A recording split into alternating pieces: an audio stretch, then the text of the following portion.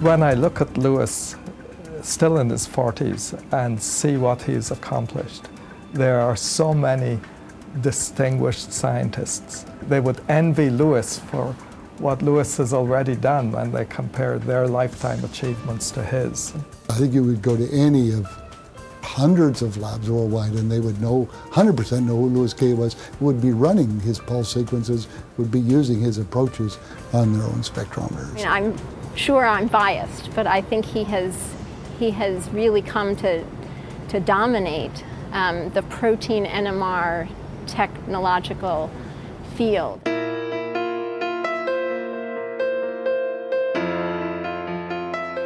The determining year in his life in terms of getting interested in academic things was probably when he was in grade three. That year, uh, we as a family went to Israel. Lewis, of course, was thrown into the uh, Israeli school system, which was totally in Hebrew.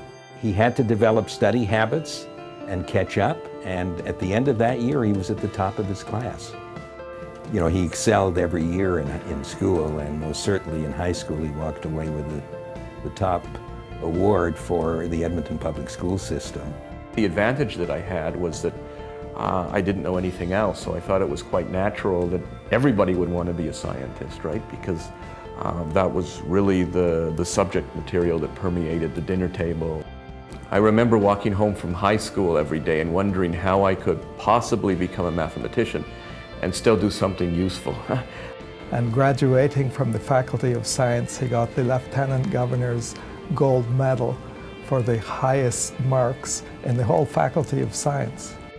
I'm going to take anything from the University of Alberta. I, I think it's the, the spirit that you can be an outstanding researcher, a first-rate professor, and a first-rate human being. And that sort of insight into the multidimensionality of a, of a, of a scholar uh, researcher, teacher is, is, is something that, that was particularly, I thought, uh, well done at the University of Alberta.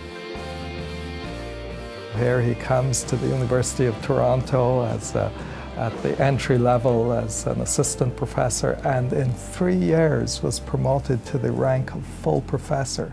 I mean, that's a meteoric rise at any university.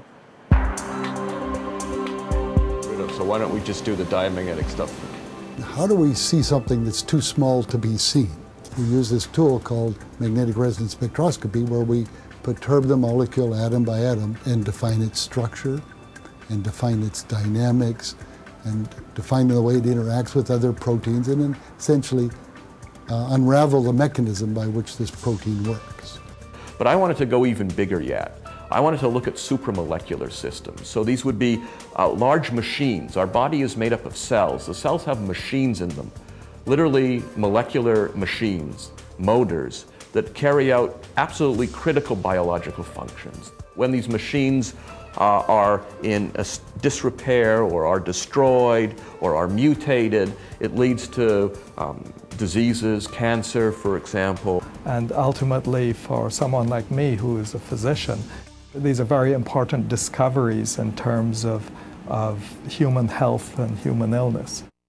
It certainly is useful, and it gets back to those days when I was coming home uh, from high school wondering how I was going to combine math with cancer research. It reminds me of that old adage of if we see farther, it's because we stand on the shoulders of giants. And in effect, you see that in a father and son. The father, a giant, and the son just going full speed ahead in his father's field. It's quite wonderful. He has suggested to me that uh, if I ever get bored, uh, that he'd quite, uh, that he'd be prepared to uh, take me on as a postdoctoral fellow in his lab, but of course unsalaried. And uh, believe me, it's, uh, uh, it's something that I'm looking forward to in my next career. You're tempted by that? I'm tempted, because I could learn a hell of a lot.